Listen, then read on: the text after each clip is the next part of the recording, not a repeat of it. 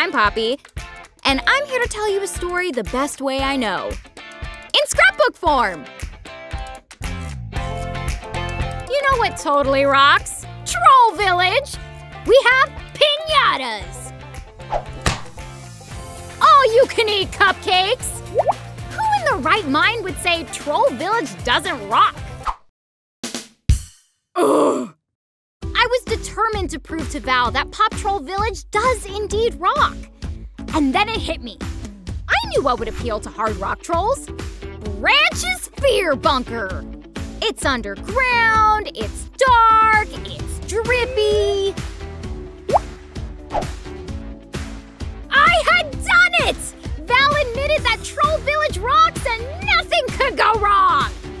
Hooray! Oh, wait, something totally went wrong. The next day, a very grouchy branch came to me and asked why his bunker was filled with hard rock trolls. Oh, because it's underground, dark, and drippy? Val must have told all the other hard rock trolls about Branch's rockin' bunker. Hooray! I went back to the bunker, and Branch was right. There were hard rock trolls everywhere. No, like everywhere. Branch really likes his privacy, so this was, uh, not good. I had to help Branch reclaim his beloved bunker, but I didn't want to straight up ask everyone to leave. It might hurt their feelings. So, I tried to be sneaky about it. I said, Hey everyone, party at my place? Then I said, Hey, who wants to play tag?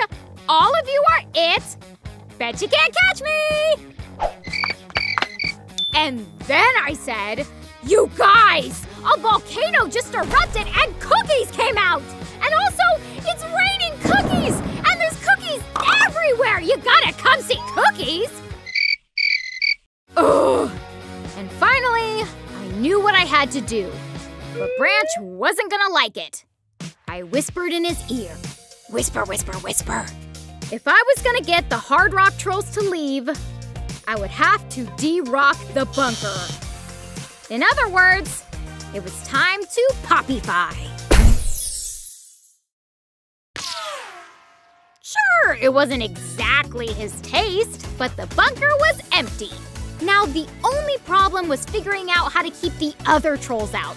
Because hard rock trolls might not like pink and glitter, but pop trolls. Bye.